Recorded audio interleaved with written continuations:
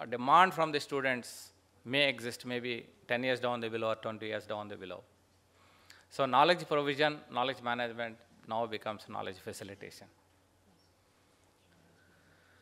Role changes in education system also. The role player, learner, teacher, and instructional design and in information specialist has become in the past, it is a knowledge adoption, and today it is knowledge production, and tomorrow it is knowledge navigation. Teacher, earlier he was teaching only, now learning facilitation. For these topics, these are the websites that you have to see. Today, only that is required. And uh, in most of the cases, at least I have faced some of the teachers where the students know more than, much more than the teachers in some cases. I'll give a small example.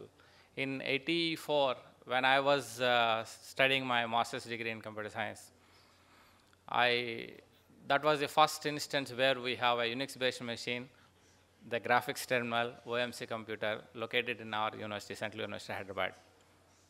Then uh, our teacher who was teaching us data structures, one day the engineers from OMC have come, they wanted to uh, see that there is some problem in the machine. They wanted to open that and then see that. We are all very enthusiastically went to the computer center to see what is there inside the computer, where the processor is there, where is the graphics terminal, where is the graphics processor is there, way back in 85.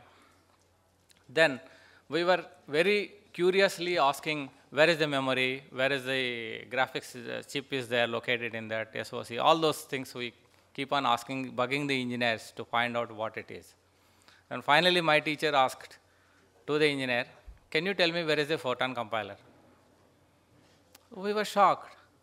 As a student, if he is teaching me one subject and he has asked me, okay, where is the Fortran compiler in a, after opening the computer in the hardware, so obviously we'll find what type of teacher he is.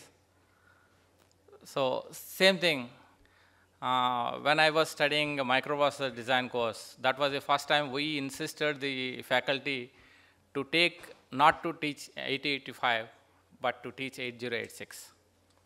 At the time, there were no teachers to teach even 85, 8085 microprocessors also.